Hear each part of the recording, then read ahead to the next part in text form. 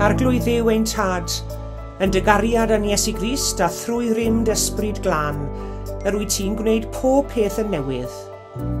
Rhoi ni gychwy newydd er ein perilundod. Rhoi ni weledigaeth newydd oedd bwrpas. Rhoi ni weld posibiliadau newydd i'r dyfodol. Rhoi ni gyfle newydd i ddwasanaethu. A rhoi ni ga newydd i ganu dy glod. Amen.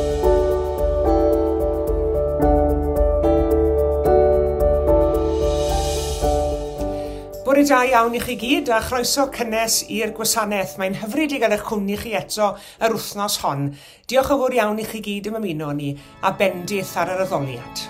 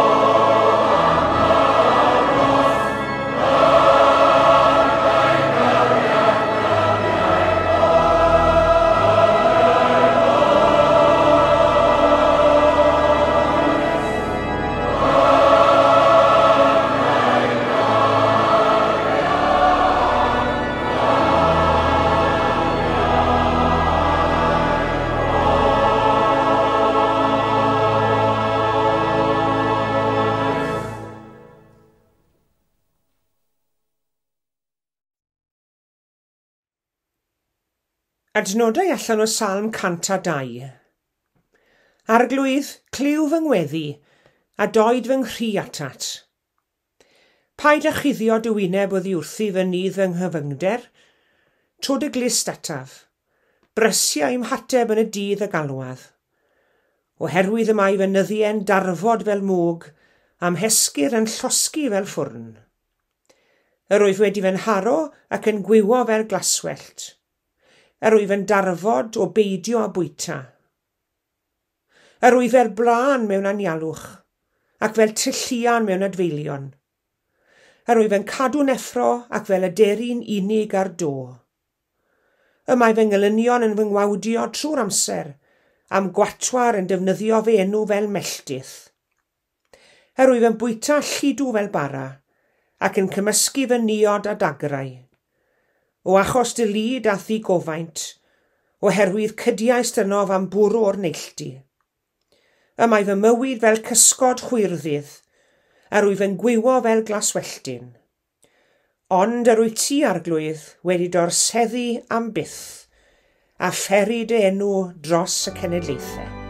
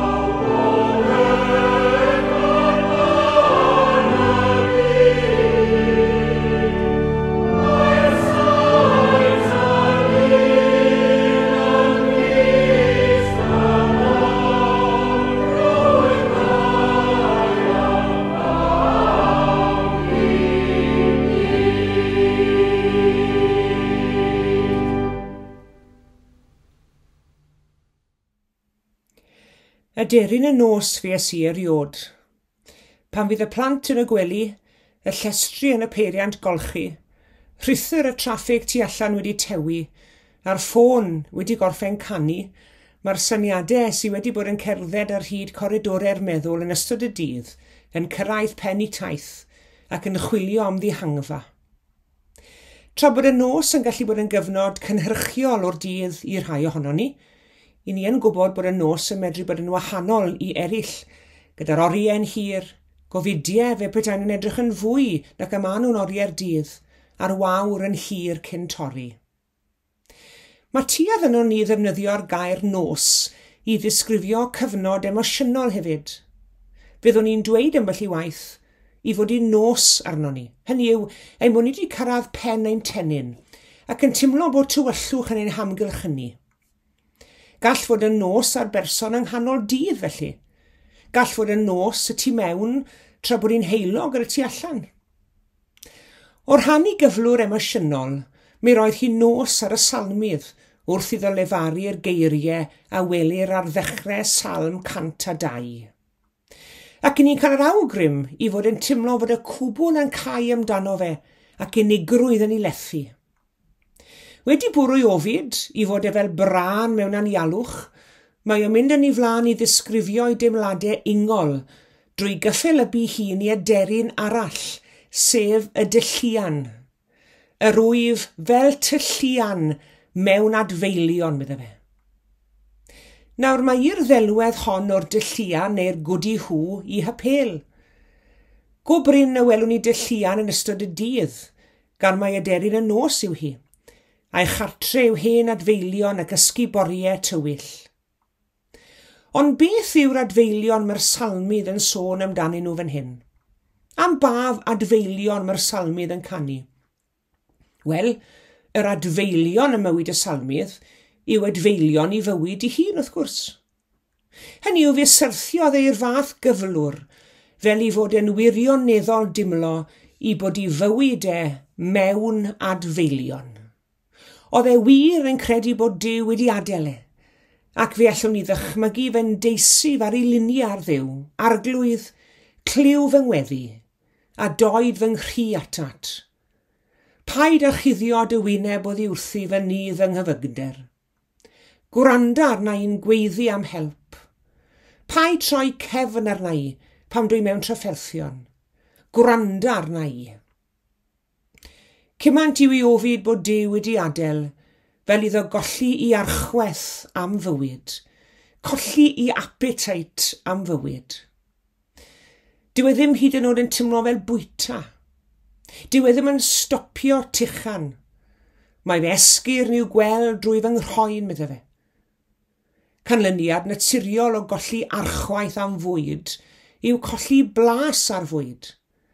A hwnnw ni dro yn arwain at golli blas ar fyw. A wyddoch chi mae'n anodd meddwl am dristwch mwy yn dwi.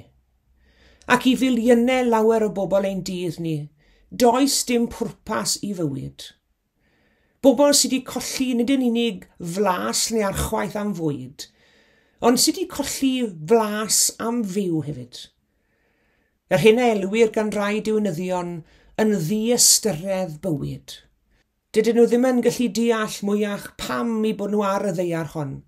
Dydyn nhw ddim yn gallu gweld unrhyw bwrpas i fywyd.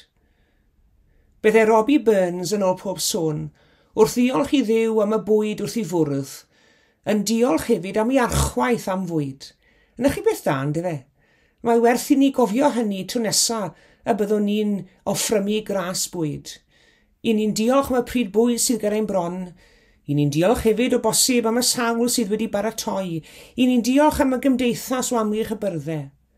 Ond faint ohono ni sydd yn diolch i ddiw am yr archwaith am fwyd, bo chwant bwyta arno ni, bo ni ddim wedi colli blas ar ein bwyd, ac felly ddim wedi colli blas ar fyw chwaith.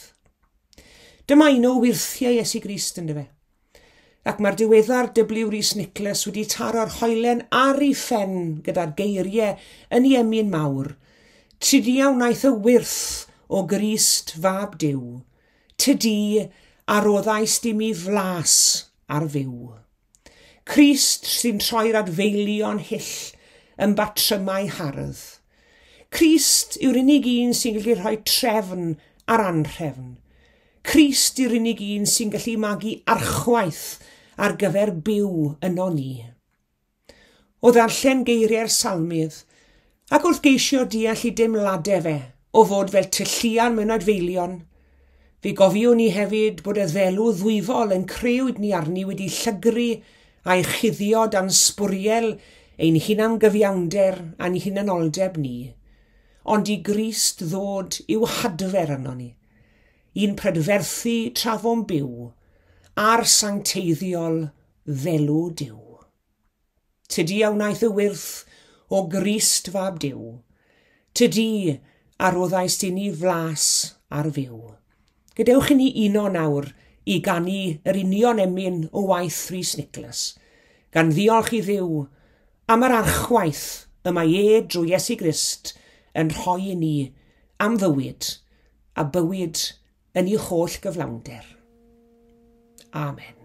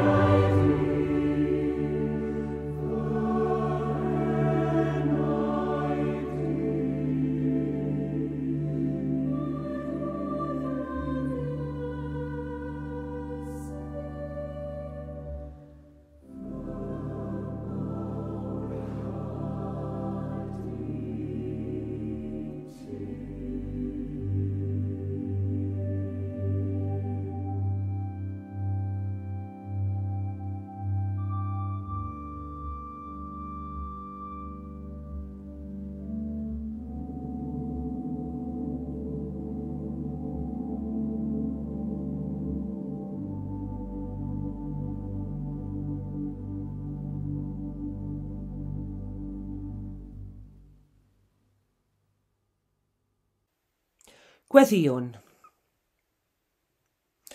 Arglwydd, rhoddwr bywyd, yr oed ti wrth law bob amser i nerthu ac i fywhau y sawl sy'n disgwyl o ddiwrtho ti.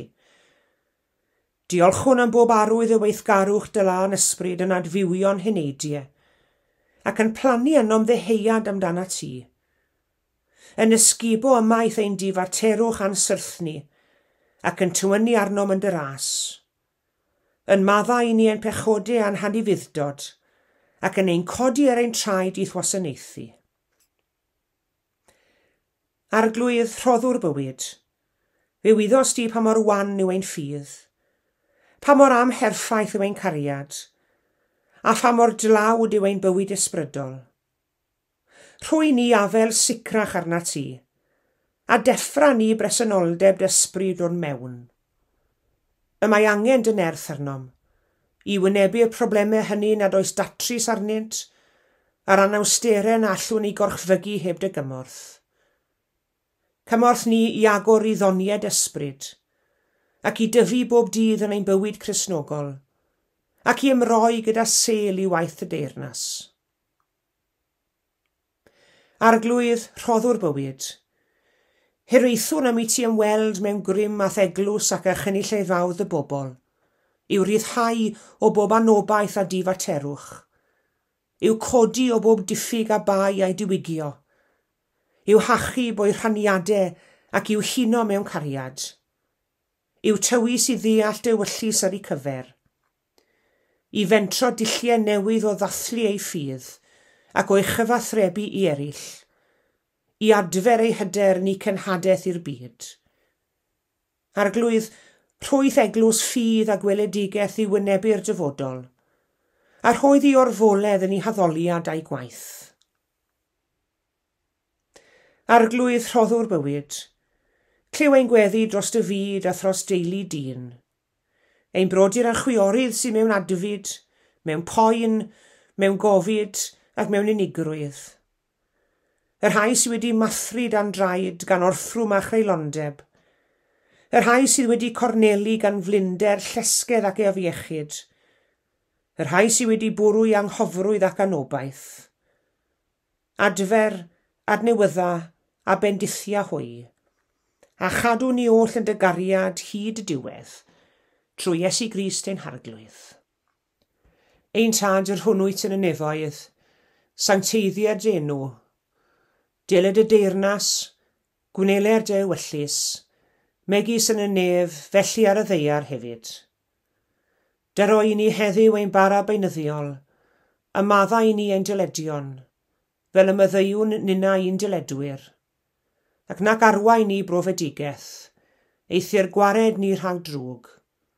Canis eiddo ti yw'r deyrnas, a'r nerth, a'r gogoniant, yn oes oesoedd. Amen.